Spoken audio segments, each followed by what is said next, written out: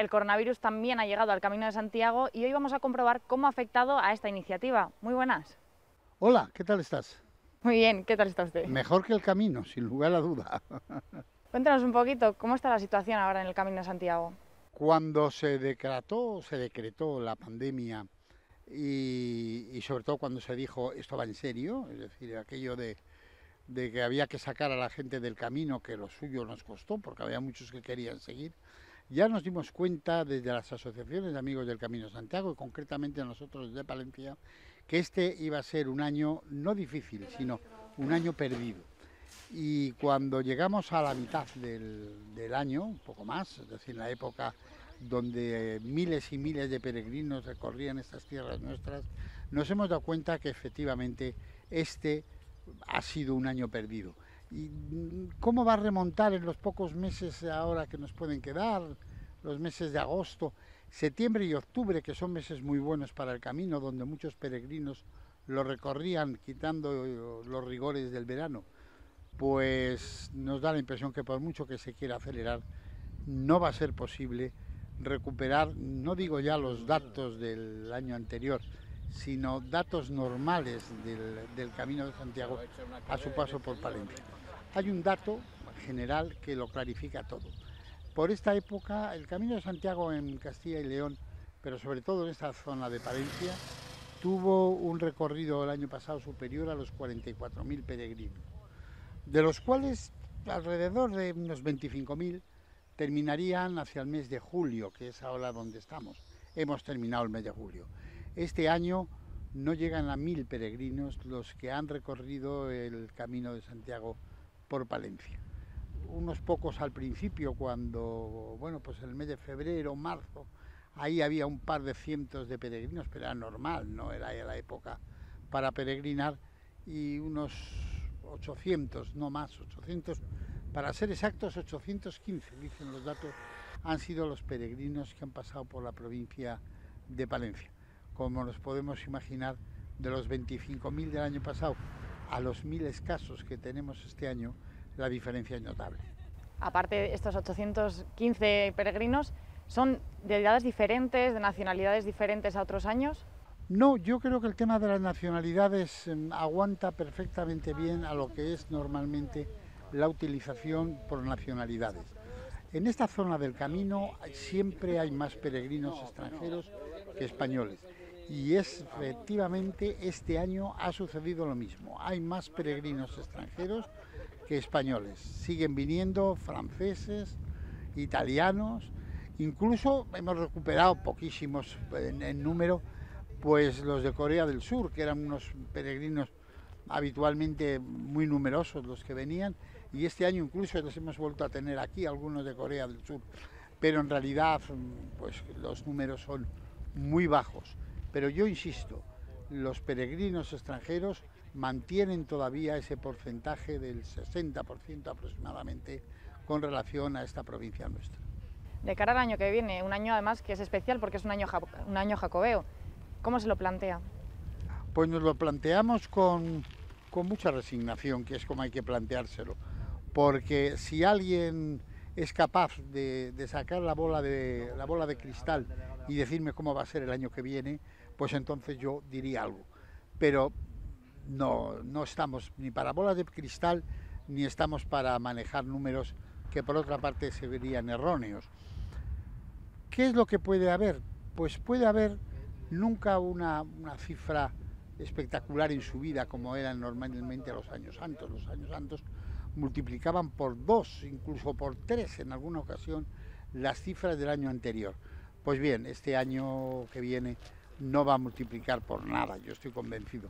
Si consiguiésemos recuperar esos 44.000 em, peregrinos por tierras palentinas, yo creo que mañana mismo lo firmamos. Pero todo está por ver, todo está por decidir y lamentar, eso sí, que un año, después de 11 años sin ser año jacobeo, que es el ciclo largo que tenemos, pues volvamos a encontrarnos con que el camino va a ser el año que viene pues como lo fue la década de los 80, al principio de los 80, cuando las asociaciones de amigos del Camino de Santiago y algunas gentes que éramos un poco ilusionados e ilusionantes en el tema de la recuperación de la ruta jacobea, nos marcábamos, pues yo diría que datos muy sencillos, muy pequeños. Pues volvemos otra vez a la pequeñez de los datos para el Camino de Santiago. El Camino de Santiago se ha convertido además ahora en algo totalmente diferente, ya que no todos los albergues están abiertos, no todos todavía se pueden adaptar. Sí, mm, todo el mundo vio rápido que la, configuración de los albergues debía ser distinta. Primero, antes de que nos lo dijesen las autoridades sanitarias, ya decíamos que los albergues tradicionales del, del, camino, donde iban los peregrinos al ritmo tradicional, peregrinos a pie, peregrinos en bicicleta, no iban a ser, no estaban las instalaciones preparadas para recibir esa cantidad de gente. Y efectivamente así fue, se empezaron abriendo con la mitad del aforo, pero la mitad del aforo de nada, pues, pues, pues sigue siendo nada. Eh, por ejemplo, por poner un caso de Palencia, muy característico, en Carrión había cinco, y de hecho hay, cinco albergues para una capacidad de unos 300 peregrinos. De los cinco albergues solamente dos están abiertos y han reducido al 50% el número de camas, por lo tanto, si hoy viniese una avalancha como las que venían otras veces, pues se tendrían que quedarse en la calle o abrir el polideportivo, como se decía en los años numerosos de, de los años santos. Pero no, eh, en estos momentos hay albergues eh, que estaban preparados para 50 personas, les han dejado preparados para 25 camas y en estos momentos malamente llegan a 10 peregrinos diarios. Yo creo que ninguno llega todavía a esos datos. Estamos en unos malos datos, pero eran previsibles. Se sabía que esto a lo que más iba a llegar y lo que más iba a, fastidiar, diríamos, era precisamente en el tema del camino, porque el tema del camino tiene unas connotaciones distintas por el tipo de albergues, por el tipo de gente, por todo ello. Y los datos, los datos son concienzudos, es decir, pero sobre todo machacantes. Estamos a la nada. Eso en cuanto a peregrinos, pero podemos decir lo mismo en cuanto a turistas, aunque también hay que decirlo en porcentaje no tan alto de, negativa de, turistas a llegar. Nosotros atendemos eh, la oficina de información al peregrino, pero también a los turistas en el Real Monasterio de San Zoilo y los datos es que estamos a un 60% de lo que fue el año pasado, con lo cual, bueno, un 60% no está nada mal, todo hay que decirlo, teniendo en cuenta que en el tema de peregrinos estamos con un 5% solamente. Hablaba de Carrión. Carrión además acogerá el año que viene las edades del hombre. ¿Cómo se plantean eh, unas edades del hombre tan diferentes? Bueno, pues lo primero que yo tengo entendido es que van a reducir el número de obras de arte a exponer, para que no haya tanta aglomeración de la gente. De todos he sabido que las edades del hombre normalmente solían tener un número, vamos, numeroso, vaya la, valga la expresión, de obras de arte por ejemplo, Carrión, que va a ser sede junto a Burgos y junto a Sagún, tenía previsto que tenía una sola sede, que era la iglesia de Santiago. Ahora sabemos que va a ser en dos iglesias. Yo me creo que entre una de las cosas por las que se ha hecho, se ha cambiado esa idea, es para poder tener más espacio expositivo, porque creo que va a haber menos obras de arte, aunque duplicamos en este caso el espacio. ¿Cómo va a ser el año que viene las edades del hombre? Pues va a depender de esta pandemia y, este, y esta, mala circunstancia que nos ha tocado vivir y esta circunstancia de, pandemia, ¿cómo va a ser? Pues lo mismo que lo hablábamos antes de lo del camino. Nada, yo incluso llegué a pensar en algún momento, bueno, pues acaso la retrasan eh, un año y tal. Pero yo creo que eso sería casi peor, porque ya que tenemos un gran proyecto como son las edades del hombre, mm, sirva también de revulsivo, porque bastante mal lo, está pasando el comercio, la hostelería, etcétera, como para eh, quitarle una posibilidad, aunque no sea la más grande, pero por lo menos una posibilidad de mover algo económicamente la ciudad de Carrión y la comarca. No olvidemos que esto de las edades influye no solo el sitio de, donde se celebra, sino también la comarca. Es un revulsivo siempre para la comarca. ¿Por qué? Porque junto a Carrión está, pues, por ejemplo, Villalcázar de Sirga. Está solo a 5 kilómetros. ¿Quién no va a ver la, la iglesia espléndida de Santa María la Blanca? O está el mismo Fromista, San Martín, el Canal de Castilla, eh, poblaciones como propio Población de Campos, Boadilla del Camino, que son pueblos que merecen por sí solo ir a verles. Pues ya lo que se dice que puesto el culo a azotes, pues salimos un poco más y nos vamos de recorrido por la provincia. ¿Qué tiene la ciudad de Palencia, bueno, la provincia de Palencia, para que de reclamo turístico en el Camino de Santiago? Hombre, tiene lo primero un paisaje que pese a ser duro, bueno, en estos días de calorina, claro que es duro, pero tiene un paisaje distinto.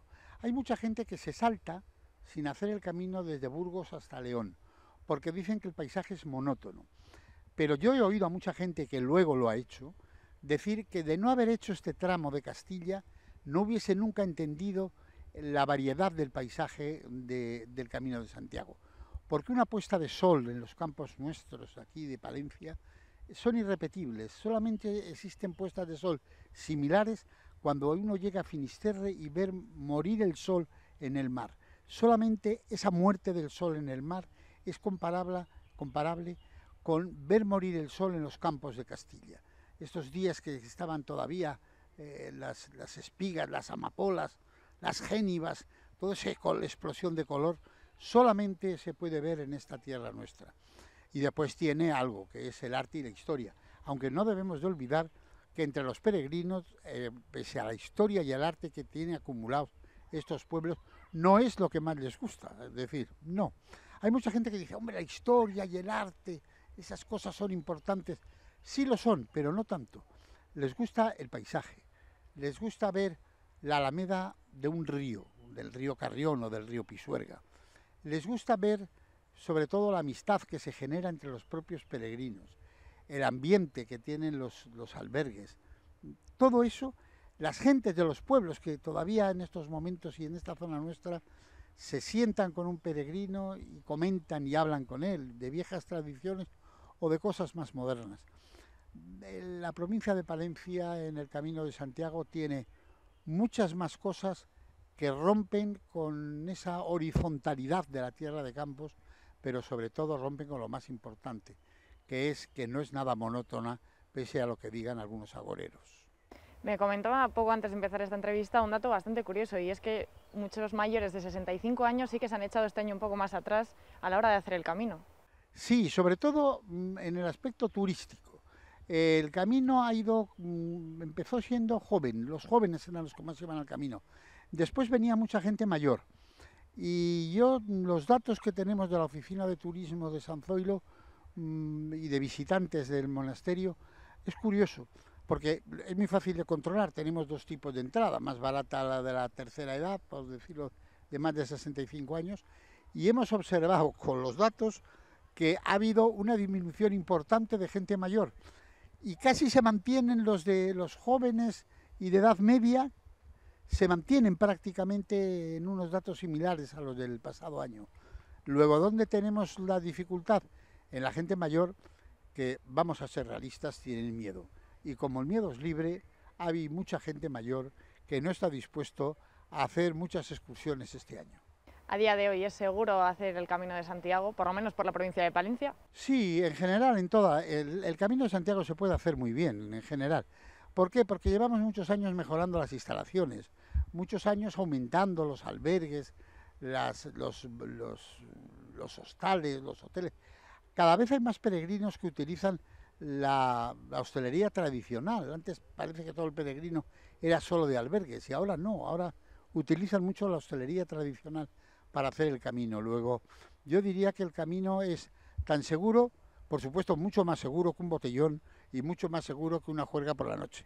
De eso estoy seguro, entre otras cosas porque los peregrinos no se pueden apuntar a las juergas nocturnas porque al día siguiente hay que madrugar.